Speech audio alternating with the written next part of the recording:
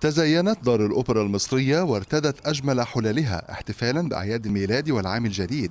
وعلى مسرحها الكبير استمتع جمهورها بحفلات قدمتها فرقة باليه أوبرا القاهرة لرائعة المؤلف الروسي تشايكوفسكي كسارة البندق. باليه كسارة البندق آه، يعني يمكن من العروض التي لم تتوقف منذ افتتاح الأوبرا سنة 88 وفعلا زي ما حضرتك بتقول الجمهور بينتظروا آه، السنة دي عندنا خمس ليالي آه، مليانين على الآخر.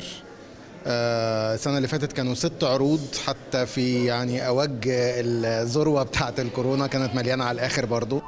تدور أحداث القصة حول هدية في شكل عروس كسارة البندق تلقتها الفتاة الصغيرة كلارا في ليلة عيد الميلاد. ولكن تتحطم الهدية وتنام الفتاة حزينة قبل أن تعود اللعبة إلى الحياة في حلم وتتوالى الأحداث. نهدم كسرت البوندو من حوالي آه، 25 سنة كل سنة في شهر ديسمبر.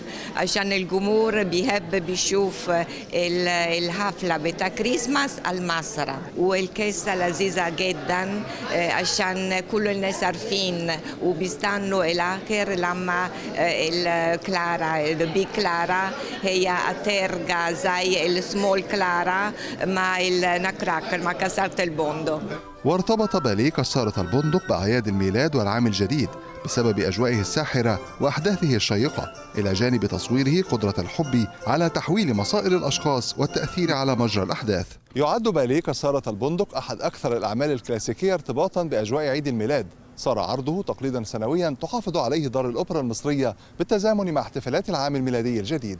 مينا حبيب قناة الغد القاهرة.